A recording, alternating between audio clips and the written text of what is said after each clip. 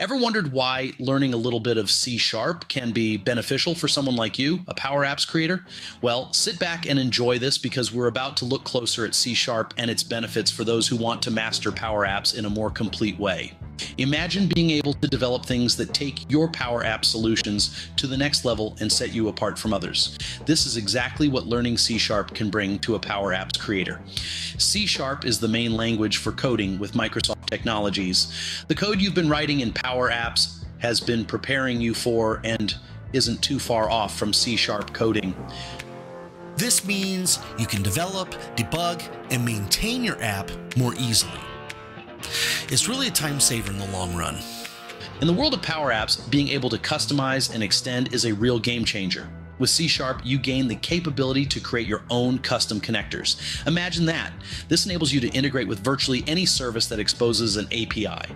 This opens up a world of possibilities for your apps, allowing you to integrate with a wide variety of software and services. Big time.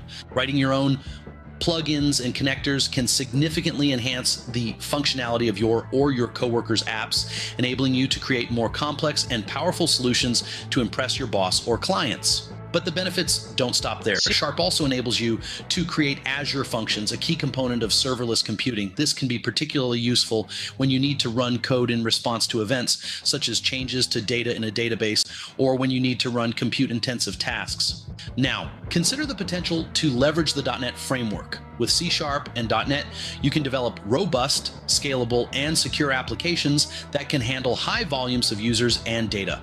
This is a real game changer for Power Apps developers, allowing them to create enterprise level or what I call big boy solutions. But what about the learning curve, you might ask? Well, C Sharp is a statically typed language, meaning that the type of every variable is set to a certain type and not so loosey goosey like they are in Power Apps. This can make it easier to spot errors early in the development process, making your coding journey smoother and more efficient.